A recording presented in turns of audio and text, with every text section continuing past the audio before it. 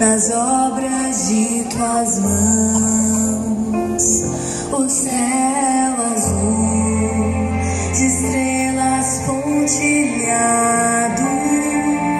e o seu poder mostrando a criação.